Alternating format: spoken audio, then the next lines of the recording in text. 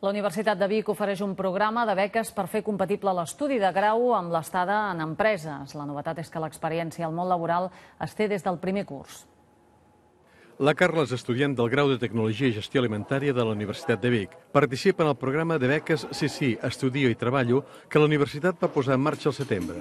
Això li permet combinar els estudis de grau amb pràctiques remunerades en una empresa del sector. Perquè des del primer dia pot eh, començar a treballar o pot estar vinculat amb una feina que eh, serà exactament la mateixa o, o molt, molt propera a la que faran el seu entorn professional. L'alumne es compromet a estudiar, a aprovar almenys quatre assignatures i a desenvolupar la tasca a l'empresa amb responsabilitat i professionalitat. A més, també té l'oportunitat de posar en pràctica immediatament els coneixements teòrics apresos a classe des del primer dia i fins l'últim dia de carrera. Em serveix per agafar experiència professional, currículum, que és el que demanen totes les empreses, i a la vegada em puc pagar la carrera. Aquest programa no només és beneficiós per l'alumne, sinó que també ho és per l'empresa. Noel Alimentària, lloc on fa les pràctiques la Carla, van ser els primers a donar suport al programa. Gràcies a això poden veure en els estudiants becats futurs professionals especialitzats que, en acabar la carrera, ja coneixeran el funcionament i la dinàmica de treball de l'empresa. Si mai es consolida un lloc de treball o es crea un lloc de treball en aquell departament, mm, tens moltes més garanties d'èxit si incorpores una persona que ha estat durant un temps